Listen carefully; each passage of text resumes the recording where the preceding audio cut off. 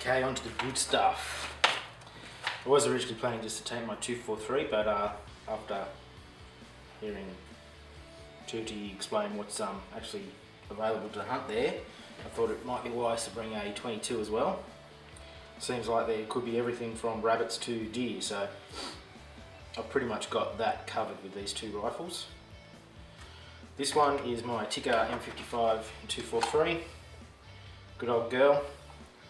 I haven't um, had time to get out, the, out to the range to do any reloading, so the only loads I'm going to be able to take will be from these projectiles, which are 90 grain Spitzers, soft points. Um, I'll probably load up about 20 or so of those, that should cover me for the weekend. And then I thought about taking my the rifle I've previously just uh, done some videos on refurbishing, but again I haven't been out to the range to actually sight it in or test it, so going with the trusty old P94S Sako. Heavy barrel, varmint 22. It's a beautiful rifle this thing. It's got a set trigger, so it has the normal draw weight, pull weight. Then if you want, you can push the trigger forward and it becomes like a target trigger, very light and crisp. Super accurate for a 22. The heavy barrel and the right ammunition.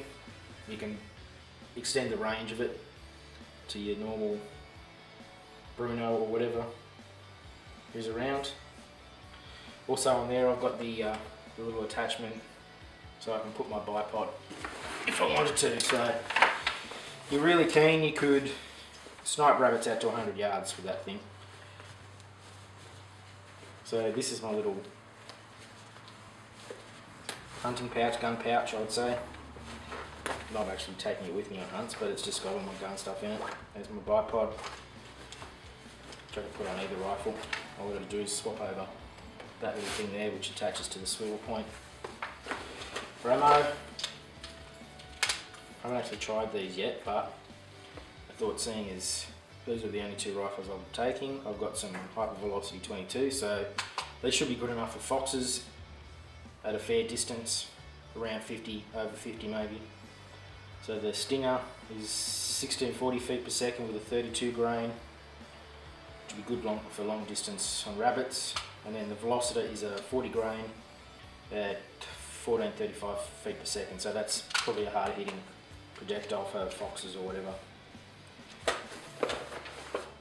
Also, I've got 100 rounds of the, I've got a box of that uh, Federal cheap stuff, whatever it is, the value pack, so I just put 100 rounds in that little container, which will be more than enough to um, plink away at anything if we get a chance. Here I've just got some Hoppe's, there's a little cleaning kit, patches and brushes and earplugs, mop, uh, little Hoppe's, pre-soaked Hoppe's, cloth, if anything gets wet, can wipe it down. And then I tried to get myself a, uh, a three-piece cleaning rod to go in this kit, but you have to pay 30 bucks and you get all the other shit which I don't need, so I'm just going to take this one, which is a, it's a Parker Hale. Yeah, Parker Hale, which is a cheap rod. It'll do the job if I need to uh, clean anything while I'm out there. So that's basically it, I think. Oh, a few more details about the rifles. On the Tikka I've got a Leupold 6.5 to 20. So it can uh, reach out long distances if I need it to. And on the Sako I've got a old Weaver 6 power scope. It's old but it's beautifully clear and does really well in low light even though it's only not a, not a real big scope. Okay, so that's it. Looking forward to the trip, fellas. Looking forward to meeting all you guys. And hopefully we will get some pigs, goats, and whatever else is around.